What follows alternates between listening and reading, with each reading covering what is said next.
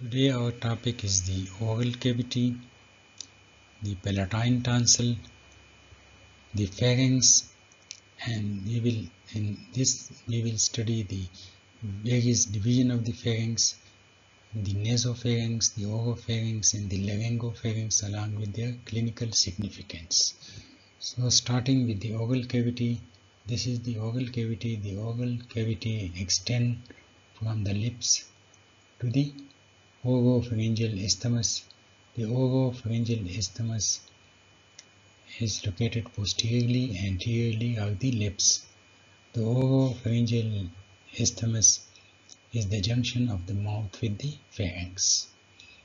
Beyond that is the pharynx.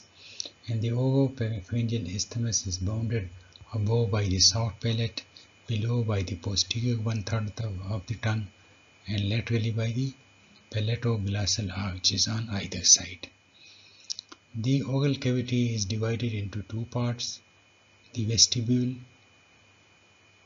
between the cheek and the gums. This is the vestibule and the oral cavity proper. The vestibule, this is the vestibule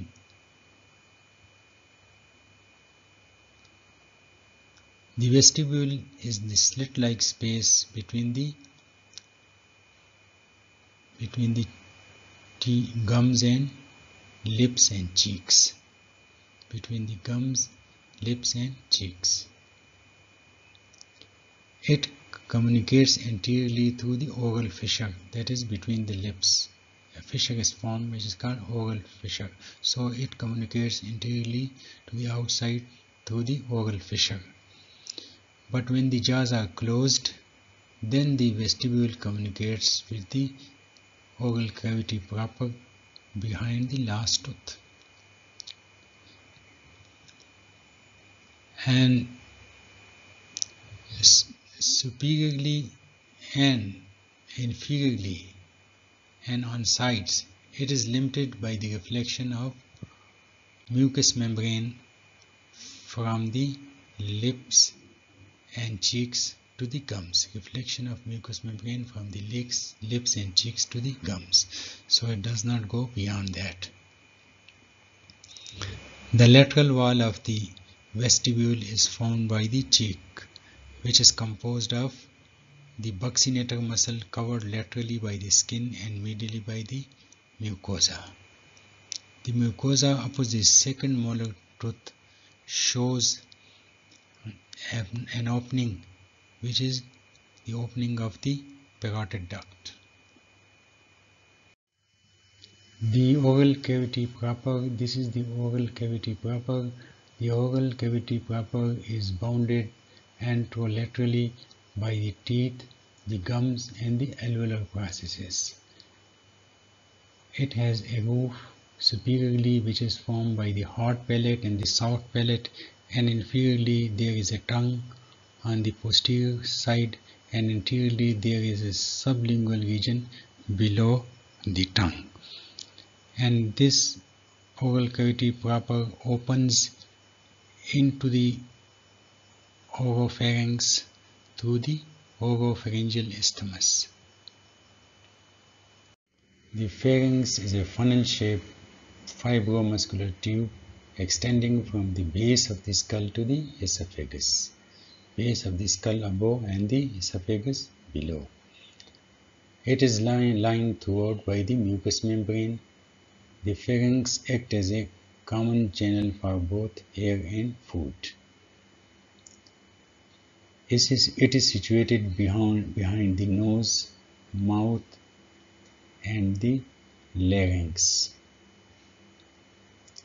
Superiorly, it is bounded by the base of the skull, the base of the skull including the posterior part of the sphenoid bone, body of the sphenoid and the part of the basilar part of the occipital bone in front of the pharyngeal tubercle. Inferiorly, it communicates with the esophagus at the lower border of the cricoid cartilage anteriorly and the lower part of the sixth cervical vertebra posteriorly. Posteriorly is the prevertebral fascia in front of the cervical spine. Pharynx is separated.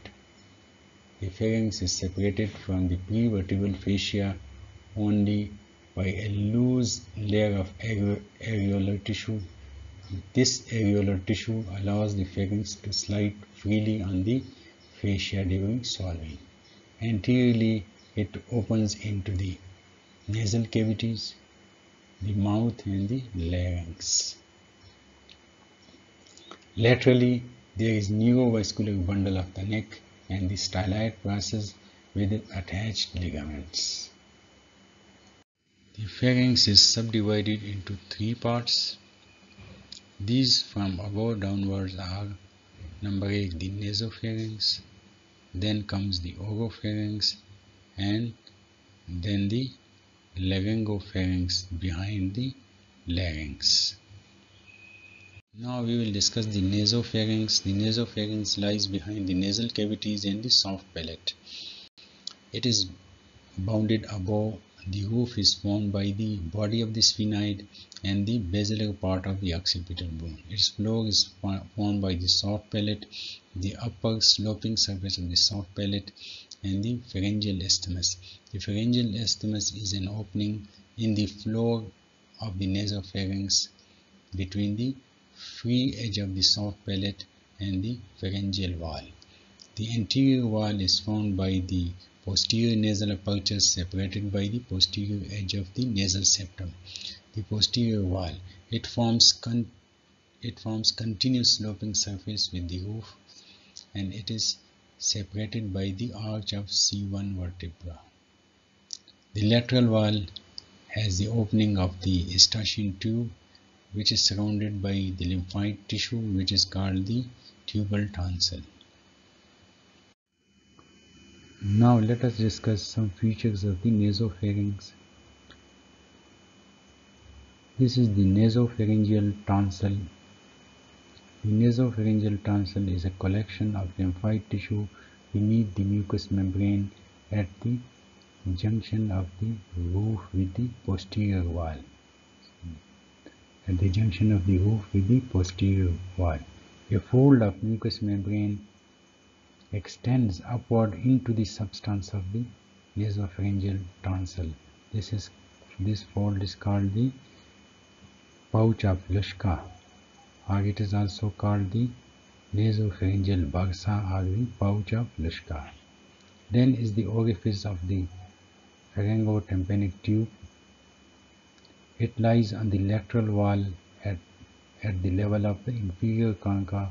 This is superior concha, this is middle concha, this is inferior concha. So it lies in the lateral wall of the nasopharynx at the level of the inferior nasal concha. Its upper and posterior margins, its upper and posterior margins, these are its upper and posterior margins are bounded by the tubal elevation. There is tubal elevation which is produced by collection of lymphoid tissue called the tubal tonsil. Two mucous folds extend downward. Two mucous folds extend downward from the elevation. One is the salpingopharyngeal fold salpingopharyngeal fold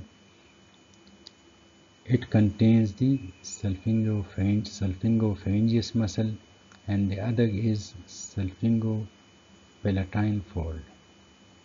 It contains the levator palati muscle. Then is the this part this is called the naso this is called the pharyngeal recess the pharyngeal recess is a deep depression behind the tubal elevation behind the tubal elevation there is a deep depression called the pharyngeal recess or fossa of Rosenmuller so this is the fossa of Rosenmuller or pharyngeal recess. Some fibers of the palatopharyngeus which arise from the palatine aponeurosis go horizontally backward and join the upper fibers of the superior constrictor muscle to form a U-shaped muscle loop around the posterior and lateral wall of the pharyngeal, pharyngeal isthmus. When during swallowing, during swallowing, when the palate is elevated, the palate elevates to close the pharyngeal isthmus. During swallowing, the palate is elevated to close the pharyngeal isthmus. At the, at the same time, this U-shaped muscle also contract and an elevated muscle band and an elevated muscle band become visible which appears as a ridge under the mucosa and this ridge is called the Passavant's ridge. During swallowing, the palate and the this ridge approximate with each other and close the pharyngeal isthmus. So this also act as palatopharyngeal sphincter. The nasopharyngeal tonsils, the nasopharyngeal tonsils are prominent in children up to the age of 6 years and then gradually undergo atrophy until puberty and almost completely disappear by the age of 20. The nasopharyngeal tonsils when enlarged due to infection are called adenoids, which block the posterior nares and mouth breathing occurs. The affected, the affected children present the present with nasal obstruction, blockage of the nose, nasal discharge and mouth breathing with protrusion of the tongue.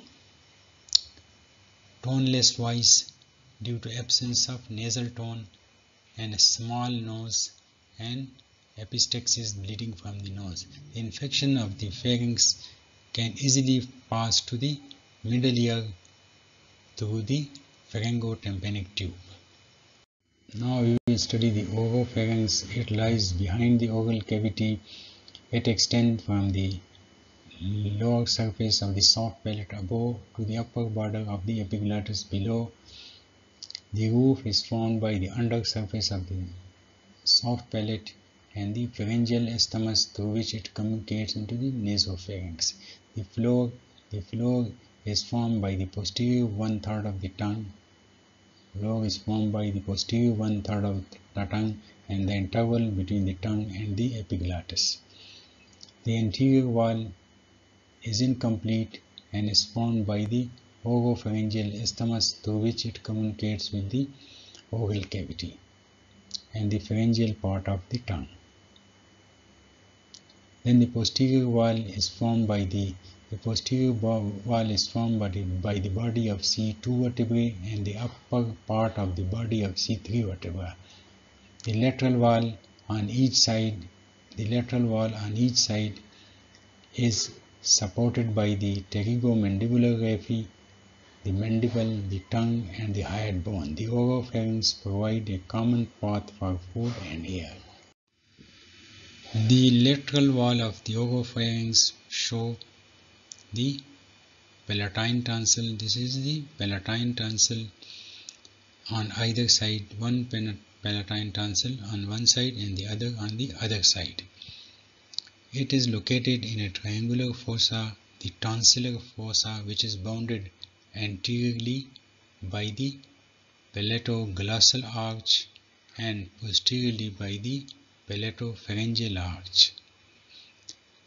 The anterior wall presents the lingual tonsil which is formed by the numerous nodules of lymphoid tissue underneath the mucous lining of the pharyngeal part of the dorsum of the tongue. The upper there is upper free end of the epiglottis behind the tongue and there are two folds the median and lateral glottic folds connecting the anterior surface and the edges of the epiglottis to the tongue. The epiglottic valleculae are shallow fossae between the median and lateral glossoepiglottic folds. This is the median glossoepiglottic fold and these are the lateral glossoepiglottic fold which connect the tongue with the epiglottis. This is epiglottis. In between the median and lateral glossoepiglottic fold there are shallow fossae known as the epiglottic valleculae. So this is one, uh, these are epiglottic valleculae. This is the oropharyngeal isthmus. The oropharyngeal isthmus is an arched opening between the two palatoglossal folds. This is one palatoglossal fold. This is another palatoglossal fold. So this is an arched opening between the two palatoglossal folds. Above is the soft palate. Below is the dorsal surface of the posterior one third of the tongue. Lateral is the palatoglossal fold on either side. The oral oropharyngeal isthmus is closed during deglutition to prevent the entry of food from the pharynx into the mouth. Since the pathways for food and air cross each other in the oropharynx, the food sometimes may enter into the respiratory tract and cause choking. Similarly, the air often enters the digestive tract producing gas in the stomach which result, results in belching. Now we will discuss the laryngopharynx. The laryngopharynx lies behind the laryngeal inlet and the posterior wall of the larynx. It extends from the upper border of the epiglottis up to the lower border of the cricoid cartilage anteriorly and the lower border of the C6 vertebra posteriorly. It communicates anteriorly with the laryngeal cavity through the laryngeal inlet and inferiorly it is continuous with the esophagus at the pharyngoesophageal junction. Boundaries anterior wall it is formed by the laryngeal inlet and the posterior surface of the larynx. The posterior wall the posterior wall is supported by the C the bodies of the C3, C4, C5 and C6 cervical vertebrae. The lateral wall is supported by the thyroid cartilage and thyroid membrane. The anterior wall presents the laryngeal inlet and below it is supported by the cricoid cartilage and arytenoid cartilages. The lateral wall presents on either side a fossa called the piriform fossa which is located on either side of the larynx.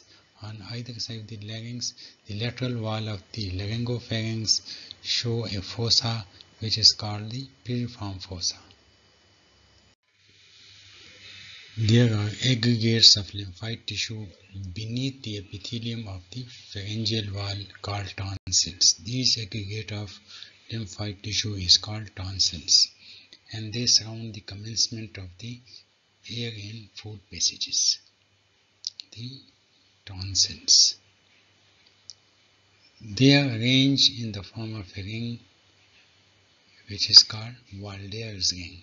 The Waldeyer ring is formed by the pharyngeal tonsil called the nasopharyngeal tonsil posterior superiorly and the lingual tonsil anteriorly. The tubal and palatine tonsil laterally. This form an interrupted ring which is called the Waldeyer ring. Which prevent the invasion of microorganisms from entering the air and food passages and this help in defense of the respiratory and alimentary systems. So these are the tonsil, the pharyngeal tonsil, the palatine tonsil and the lingual tonsil and the tubal tonsils. Now we will discuss the palatine tonsils commonly known as tonsils. Each tonsil, there are two tonsils on either sides. Each tonsil is an almond-shaped mass of lymphoid tissue situated in a triangular fossa called the tonsillar fossa on the lateral wall of the oropharynx between the anterior pillar and the posterior pillar. The anterior pillar is formed by the palatoglossal arch and the posterior pillar is formed by the palatopharyngeal arch. Now we will study the boundaries of the tonsillar fossa. Anteriorly is the palatoglossal arch containing the palatoglossus muscle and posteriorly is the palatopharyngeal arch containing the palatopharyngeal muscle and the apex is at the apex is the soft palate where both the arches meet and the base is formed by the dorsal surface of the posterior one third of the tongue and the lateral wall or tonsillar bed the lateral wall or tonsillar bed is formed by the superior constrictor muscle mainly. Let us now study the features of tonsil. First we will study the medial surface of tonsil. The medial surface of tonsil, this one, the medial surface of tonsil is free and bulges into the oropharynx. It is lined by the non-keratinized stratified squamous epithelium which dips into its substance forming crypts. So on the medial surface there are crypts. The number of crypts vary from 12 to 15 and their opening can be seen on the medial surface. Now we will study the lateral surface of the tonsil. The lateral surface of the tonsil is covered by a well-defined fibrous tissue which is known as the tonsillar hemicapsule. Between the capsule and the bed of the tonsil there is space which contain the loose areolar tissue, tissue. This is called the peritonsillar space. It is easy to dissect the tonsil and remove the tonsil due to this peritonsillar space and it is also the site where the peritonsillar abscess form. The superior constrictor muscle separates the lateral surface of the tonsil from the following structures the facial artery, its ascending and tonsillar branches, the styloglossus muscle and the glossopharyngeal nerve, the styloid process, the angle of the mandible, the medial pterygoid muscle, the submandibular salivary gland, and the internal carotid artery is 2.5 centimeter from the posterolaterals. The internal carotid artery is about 2.5 centimeter posterolateral to the tonsil. The tonsil has an anterior border which is behind the palatoglossal fold and a posterior border which is anterior to the palatopharyngeal fold. It has an upper pole which extends up to the soft palate and a lower pole which is attached to the tongue by a fibrous tissue called the suspensory ligament of the, the suspensory ligament of the tonsil.